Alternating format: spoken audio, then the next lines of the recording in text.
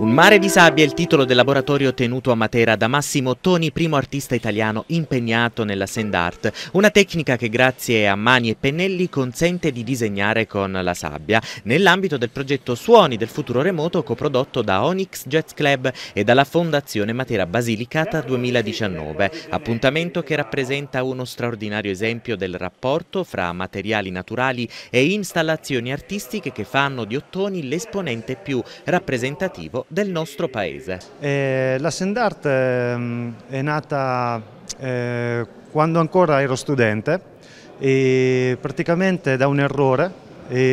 facevo allora delle animazioni, poi eh, sfortunatamente ho cancellato tutti i video in, eh, che erano registrati sul computer e quella sera avevo improvvisato con della farina, dello zucchero su una tavola nera. E poi da lì mi vide il mio professore e mi indicò un artista eh, francese che si chiama Sacco, eh, il quale lavorava con la sendart appunto, quella che conosciamo tutti oggi, mani che lavorano sulla sabbia.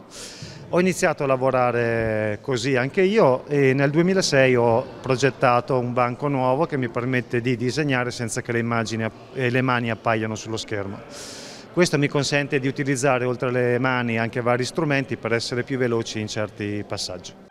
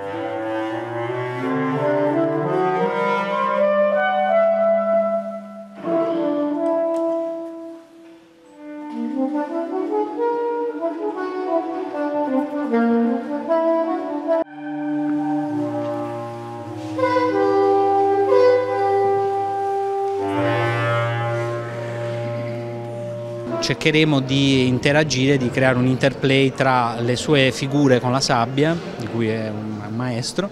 e mm, noi cercheremo di commentare ciò che accadrà ehm, in modo diciamo, informale, quindi senza che sia uno spettacolo costruito, quindi sarà una vera e propria performance. Eh, però chiaramente lavorando lui sia sull'aspetto formale, eh, perché disegna delle forme, e sull'aspetto informale ci saranno anche delle piccole sorprese, quindi anche dei piccoli brani.